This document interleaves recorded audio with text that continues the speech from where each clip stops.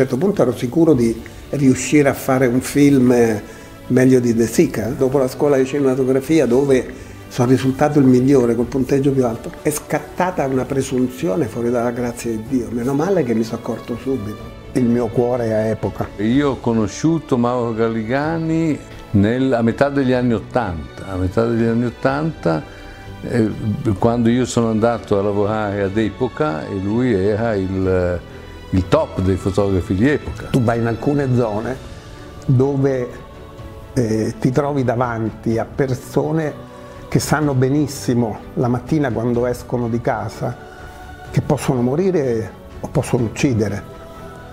Io credo che lui faccia un giornalismo ad altezza d'uomo, un fotogiornalismo ad altezza d'uomo, che non può mai prescindere dall'uomo. Il fotogiornalismo è la capacità di rendere inutili le parole, letteralmente di sterilizzare la parola e di raccontare per immagini.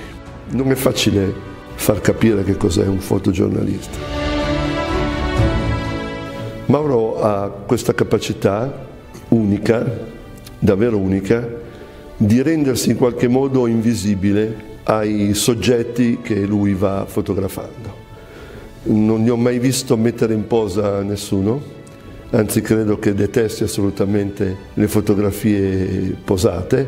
Perciò sono stato testimone di tante pagine di storia. Davanti a me si è palesata eh, la pietà e la malvagità degli uomini. Una speranza di futuro per il fotogiornalismo viene dall'amatoriale.